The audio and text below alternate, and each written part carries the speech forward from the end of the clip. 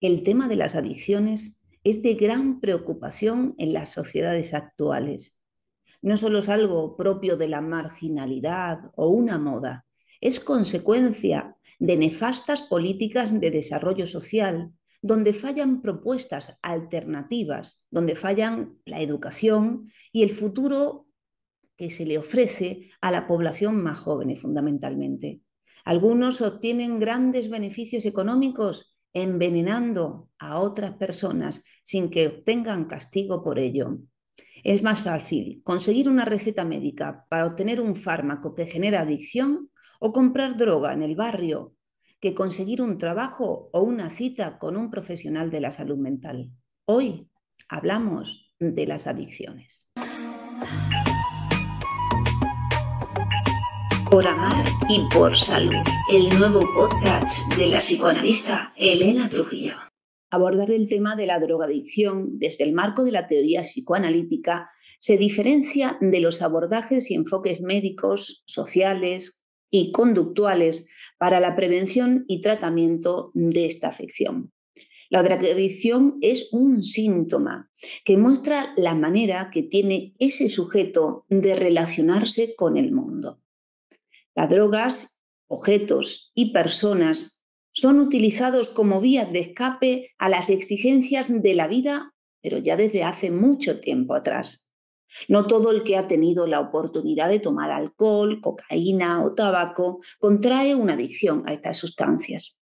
Un estudio más preciso demuestra por lo general que estos narcóticos están destinados a sustituir de manera directa o indirecta el goce sexual faltante. Y cuando no puede restablecer una vida sexual normal, cabe esperar la recaída en el uso de esa sustancia. Hay drogadictos que viven por y para el consumo de su sustancia, entre comillas, como hay hombres y mujeres que como niños no pueden desligarse afectivamente de la relación primitiva con la figura materna y demandan y demandan y nunca pueden puntuar esa constante búsqueda de satisfacción. No pueden realizar un trabajo, una transformación para producir otro tipo de vínculos y satisfacciones siempre parciales. En la actualidad son muy malas las drogas. El psicoanálisis aconseja no drogarse, porque en una época era lindo drogarse porque las drogas eran lo que decían. Quiero alucinar y te tomabas un alucinógeno. Quiero tranquilizarme y te tomabas un cigarrillo de marihuana. Pero ahora las drogas producen efectos contradictorios como produce la misma sociedad capitalista en la que vivimos. Los propios estados ahora están implicados en el narcotráfico y son de alguna manera sostenedores del tráfico de sustancias estupefacientes que principalmente consumen hombres y mujeres en edades productivas, es decir, personas muy jóvenes, entre 16 y 55 años. Lo que queremos decir que es una forma que tienen los estados de desentenderse de las personas, en lugar de ofrecerles formación, opciones para desarrollar su carrera profesional y su vida, les están ofreciendo la alternativa de ser marginados. La mayoría de los tratamientos de las adicciones fracasan porque no abordan los procesos inconscientes del paciente. Claro que está todo ese sostén ideológico de los estados, ese mercado donde resulta muy fácil acceder al consumo de alguna sustancia estupefaciente. Pero luego está, como hemos dicho, el sujeto que se hace adicto y que busca una y otra vez el consumo de esa sustancia como un modo de sustitutivo de un goce que no se sabe alcanzar de otra manera. La estructura adictiva del paciente tiene que ser trabajada en el proceso y el proceso es psicoanalítico. Tiene que eh, transformar esa búsqueda permanente de taponar la demanda que va a generar cada vez una caída y otra en el consumo de esa sustancia o de otra alternativa. En muchas oportunidades, las personas con problemas de, adicción, eh, alguna vez ayudados por familiares, se internan en centros de rehabilitación y interrumpen de esa manera el consumo con la sustancia. ¿Qué ocurre? Que cuando salen del centro de rehabilitación vuelven a encontrarse en el mismo entorno, con la misma situación profesional o personal y vuelven a consumir esa u otra sustancia engañando a los familiares y sobre todo engañándose a sí mismos. Hay que cambiar. Si quiere uno modificar esa estructura que tiene con su demanda, hay que modificar la vida. La adicción es un complejo mecanismo psíquico que utiliza cualquier cosa, desde la Coca-Cola, que es una sustancia muy común que encontramos en el supermercado y que millones de personas consumen todos los días, hasta los clavos, porque como siempre están duros los clavos y el sujeto tiene impotencia genital, pues entonces ama los clavos porque están siempre duros. Esto es una adicción, por ejemplo, para que entendamos que no es la sustancia en sí la que nos hace adictos, que no tiene nada del exterior, tiene tanto poder como para que uno caiga en sus redes, que tiene que ver con la estructura del individuo. Podemos también tener adicción a las personas, que es la adicción más grande del mundo. Porque hace 50 años, por ejemplo, que usted vive con esa persona si le maltrata? Bueno, pues porque usted es adicto. Tiene que, tiene que asumir esa adicción y tiene que tratar eso que el otro le ofrece a su estructura de pensamiento. El psicoanálisis nos enseña que no es que estemos enfermos por algún trauma psíquico o físico, sino que estamos enfermos porque tenemos una manera de concebir lo humano, el saber, la enfermedad. Tenemos que entender que siempre estamos en permanente aprendizaje, que no venimos hechos, que no podemos decir yo soy así. No, tú has hecho un trabajo para ser así. Si sigues trabajando e introduces nuevos elementos en tu vida, vas a transformar tu manera de ser. La drogadicción, repito, es un síntoma. Hay que modificar esa manera del sujeto de relacionarse con el mundo. Unos van a buscar la droga para potenciarse intelectualmente, otro para potenciarse laboralmente, otro creativamente, otros sexualmente. Utilizan las sustancias como quitapenas, procurando escapar del peso de la realidad, refugiándose en un mundo propio que ofrezca mejores condiciones para su sensibilidad. quién no le ha pasado? Nos agobia la vida, los impuestos, la familia, las exigencias. Ay, quiero escapar de todo esto. Pero eso es tu vida. Si escapas de tu vida, te metes en un pozo que ya no es vida.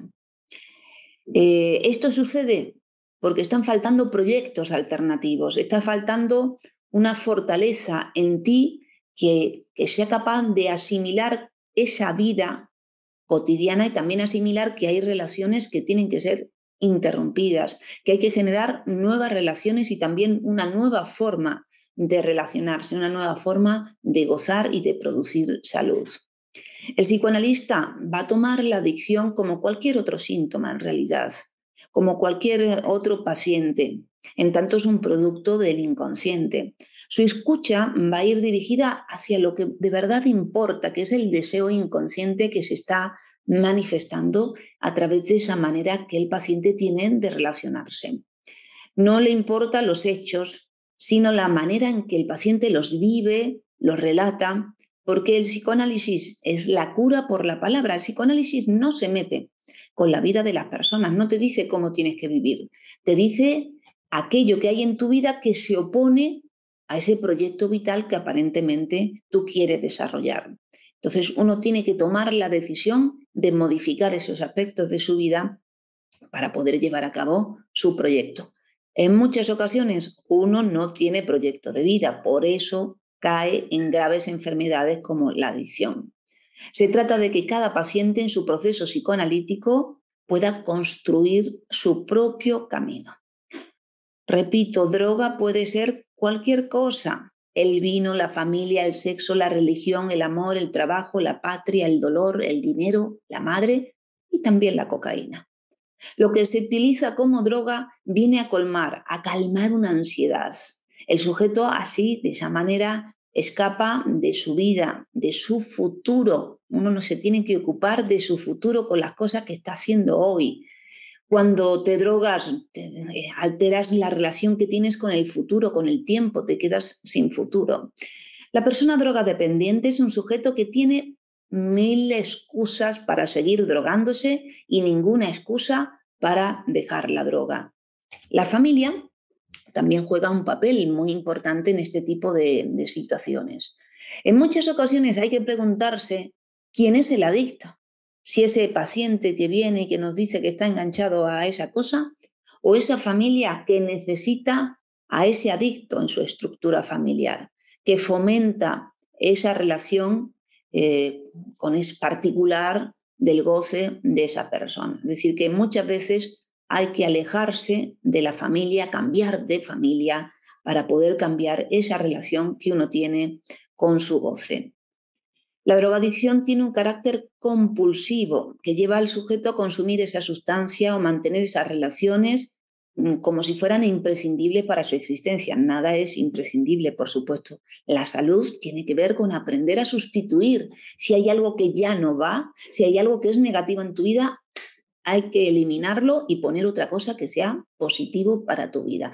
Bueno, esto es fácil decirlo, pero hacerlo lleva todo un proceso de trabajo que es el proceso terapéutico que está indicado en personas que por sus síntomas, por sus efectos, por su situación de sufrimiento, nos está mostrando que solos no han podido llegar a, vivir, ¿no? a construir su propio camino. El psicoanálisis nos brinda este estado de sujeto psíquico, no nos trata como enfermos, como hemos dicho, no nos interesan en sí los síntomas del paciente, sino cómo los vive, cómo los relata. Eso es lo que escucha el psicoanalista y va interpretándole cómo va el paciente modificando esa relación consigo mismo y con los demás. La cura va a ser a través de la palabra, a través de ese proceso terapéutico. Claro, a veces la familia tiene que apoyar al paciente para que pueda venir a la consulta o muchas veces el paciente se tiene que oponer a la familia que no quiere que el paciente deje de ser un enfermo. Bueno, alguien tiene que querer que esa persona modifique su vida. El psicoanalista quiere, el psicoanalista está ahí a su disposición, pero no, no puede obligar a nadie a que se psicoanalice. Esa, esa persona que tiene esa vida y que quiere construir una vida diferente, una vida sin enfermedad, sin adicción, tiene que tomar la decisión. El psicoanalista le va a ayudar a poder llevar a cabo ese camino que puede ser fácil o difícil, pero es un camino, un camino verdadero donde no va a haber sufrimiento. Si te has sentido identificado o identificada con este tema que hemos abordado hoy, si crees que esta situación eh, te está pasando a ti y crees que podemos ayudarte, como a muchos de nuestros pacientes en los que hemos conseguido modificar esa situación adictiva, esa situación infantil que le sumía en el pozo de, la enfermedad y a veces de una muerte prematura, bueno, no dudes en contactarnos porque nosotros podemos y queremos ayudarte a hacerlo. No olvides dejar tu comentario en el vídeo sobre el tema de hoy y ya sabes que la semana próxima aquí estamos de nuevo. Un saludo. Mi especialidad es escucharte Ninguna pastilla solucionará los problemas de tu mente. Agenda ya tu cita. Te espero.